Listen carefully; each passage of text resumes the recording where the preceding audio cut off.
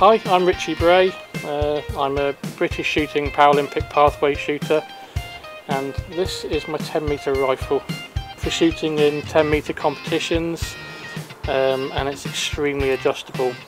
As you can see all the way from the back end starting with the buttstock you can raise it up, down, rotate left and right, change the width of it, even change the angle the stock sits at coming forward we go into the cheek piece. We can adjust the height of this. We can also move this left right or angle it so we can get a good head alignment into the sight the grip is a pistol grip which can be moved in 360 degrees um, and is somewhat contoured but not quite contoured perfectly to our hands.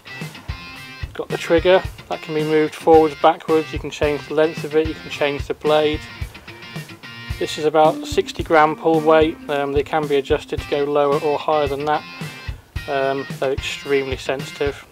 When you come to loading the gun, you've got this lever here, you pop your pellet in there, pull that lever up, you're ready to fire. Got diopter sight, which is just an iris at the back with a ring and a ring at the front. There's no magnification whatsoever. So when we look at the target, all we see is a little black dot. Coming forward to that, we've got the barrel. In this case, it's a shrouded carbon fibre barrel.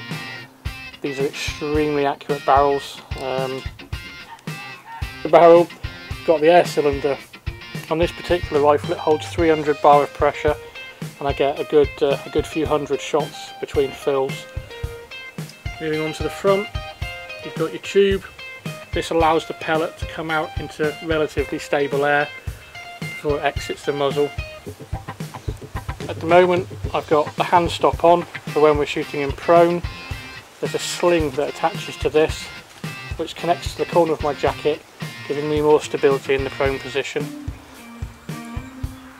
I have a corrective lens on the back for my astigmatism. Uh, we're not allowed any magnification but we are allowed to have eye correction. Uh, and when you look at the target, literally all we see is a black dot. Um, the centre of that black dot, there's a little full stop, and that's the 10. We need to hit that full stop to score a 10, and the more central the pellet is, over that dot, it goes 10.1, 10.2, 10.3, so on, with 10.9 being the highest attainable shot. Shoots is a .177. It's a very small lead pellet with a flat head which punches a nice neat clean hole in the centre of the target. I'm pleased to say my progression is, is rapid. Um, coming back from Germany earlier in the year I got my new classification. I've now got better stability in the chair I'm using from that classification. Um, so I'm, I'm now able to focus on what I really need to focus on and not worrying about pulling muscles and things. So, um, but yeah, it's it's a long it's a long process and there's no guarantees at the end of it but it won't be for lack of trying I'll tell you that. First thing we did in Germany was uh, went and got classified. Uh, we saw the medical people that went through the classification. They said to me um, actually we think you need a small backrest rather than without you know, shooting without one like I have been. Um, I'd never actually shot with a backrest before so one of our coaches arranged for us to um, have a training session late at night on the range um, the, the, day before the match. And initially I just I was struggling to release the shot because I've never seen it so still. And everything just felt really comfortable. I was no longer having pain in the stomach wall. Um, and I got quite emotional I won't lie. It was just like wow it was a bit of a, a eureka moment. Um, and then and it just got better and better. I shot my first 50 metre 3p match which I'd never shot before. Um, I, mean, I came I came last where I expected to but I learned a lot. All the other athletes were really supportive. Um, they came over gave me advice. Uh, it was incredible. Fantastic first international experience and I can't wait for the next one. My next national competition is Stoke Mandeville uh, DSGB Nationals in October. Uh, and then sometime after that, or shortly after that, I have the Welsh um, Open um, in the new year have the British Air Gun Open and then hopefully we go back to Hanover again in May for my second international. This is the equipment I wear when I'm shooting. Start off with the, the base layer. This goes underneath my jacket. It uh, helps to keep me cool by wicking away any perspiration and also keeps me warm uh, when I'm shooting in cold environment. It's got seams on the outside edge as opposed to the inside so if I'm shooting prone they don't rub on my skin and it's got a zip at the bottom and the top so I can adjust it so it's nice and tight for me without any creases. Secondly we come to a sun visor. Um, I don't always wear this unless it's particularly sunny but it does help me to see the rear sight better and keep the suns out of my eyes on, the, on a particularly sunny day. And then we've got gloves. In the standing position I prefer a thinner glove where I've got a better bend in my hand and it supports the, uh, the rifle a lot better. It's non-slip and uh, stops my hand getting blisters. And then in the prone position I've got a much thicker glove because I've got the, the sling coming around the back of my hand. This helps to minimise pulse transferred from my, uh, my arm into the rifle and also helps to protect my hand from the, uh, the edges of the sling and the stock. And we wear a blinder when we're shooting because we shoot with both eyes open. Uh, this allows me to use my dominant eye on the sight and uh, I don't get any input from my left eye apart from light. And then we come on to the jacket, this is the all important bit. These are reasonably tight around you, um, there is a limit to how tight they can be, there's a limit to how much overlap they can be. They give you a lot more support, um, they help pull tight across your shoulders so you've got a much more comfortable position. Uh, they stop pulse being transmitted uh, into your rifle and we also attach the prone sling onto the top of the arm which is then strapped to the jacket so all the weight of the rifle is transmitted down your arm and across your shoulders. I shoot from a wheelchair the jacket is cut quite short.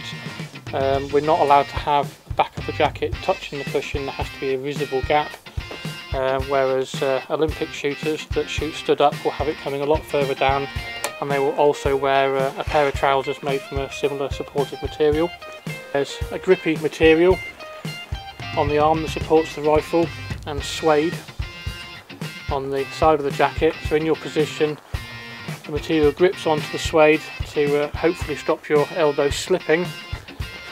We also have it on the shoulder that the uh, buttstock goes into to give you some extra grip to uh, stop the rifle sliding and we also have it on the other elbow so in the prone position you have grip on your table or floor depending how you shoot and it also stops your elbow from getting blisters.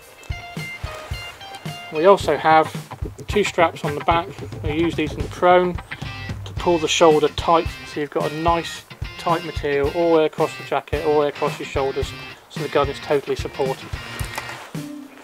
We previously spoke about my 10 metre air rifle this is the other discipline I shoot. This is a 2.2 rimfire rifle. It fires a 2.2 bullet from a 2.2 rimfire cartridge and we use these at 50 metres.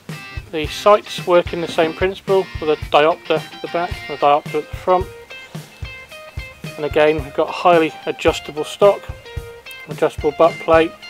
On the 2.2s we have a hook to hook under our arm they are quite heavy, this gives you a bit of stability in the barrel. The same adjustability in the stock as the air rifle, and the same adjustability with the cheek piece. But when you come to loading this, it's bolt action. Put your cartridge in the loading port, slide your bolt forwards, lower and you're ready to fire. Again, I have a 60 gram trigger, also highly adjustable, forward, back, left, right, whichever way you need. It's got adjustable palm shelf on the front so I can raise or lower the gun in my hand. I can also move that forwards and backwards or put a cant onto it to allow for an angle in the gun. On the end I've got a barrel tuner. This allows you to adjust the harmonics of the barrel to give you a tighter group on target. And the tube on the end gives me a longer sight radius which uh, shows more movement in aim and uh, I find works well for me. He is on his way. For Richie to achieve gold at the Paralympics, he needs your help. He has a GoFundMe page to fund his equipment and his travel expenses. I'll put a link below in the description. If you've enjoyed this video, please subscribe to my YouTube channel